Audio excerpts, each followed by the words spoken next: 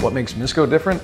Well, it has more to do with the style than anything else. A lot of what we do is like this reclaimed material is what you're seeing in front of me at the moment, uh, as opposed to trying to stay to a modern and a more clean look than anything else. We do a lot of cabinet making, whatnot, uh, things like retail fixtures, stands for mannequins at like a lot of stores that you'd see, cash register stands, a lot of the like the ornate millwork that you'll see in a lot of those places as well. It ends up being a lot more like the rustic feel as opposed to like trying to stay to a modern specific uh, mentality with the styles that we have.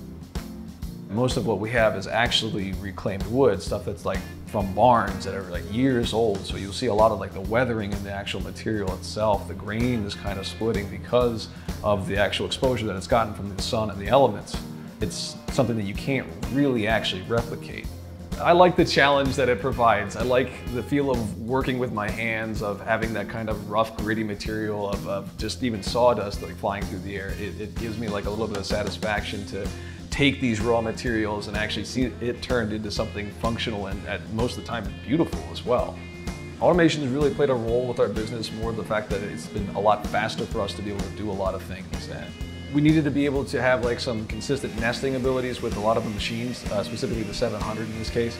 But we needed also to be able to adjust those on site because there's some things that like, hey, move that hole down an eighth of an inch. And instead of running back and forth to the same program every time, you only need to do it once. It's quick and easy, all of five minutes at most.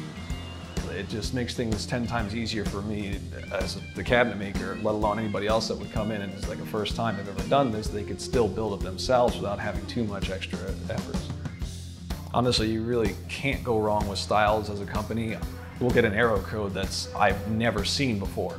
And instead of me wigging out for an hour and a half trying to find a solution, I know I can call Stiles and like they'll have something for me within like 30 minutes.